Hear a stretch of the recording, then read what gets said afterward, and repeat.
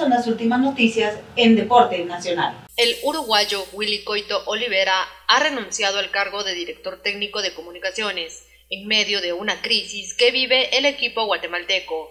Willy hizo el anuncio en una conferencia de prensa que ofreció junto con Juan Leonel García, presidente de comunicaciones, al terminar el juego contra Xelajú. Ayer por la noche, los cremas cayeron goleados 4-0 ante el cuadro chivo de Amarini Villatoro. Estoy agradecido con los jugadores, al club también por haberme dado la oportunidad, pero creo que es momento de dar un paso al costado, expresó quien hasta este domingo dirigió al equipo Albo.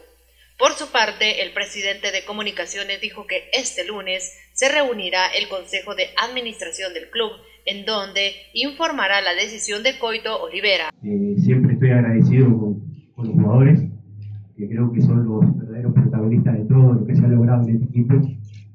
Eh, a veces no se tiene memoria, pero se ha logrado muchísimo.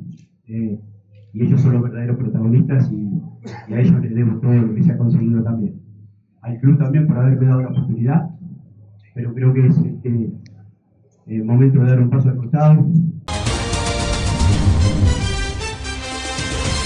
ProExamer, video y fotografía profesional. Con 40 años de experiencia, comunícate al 5414 79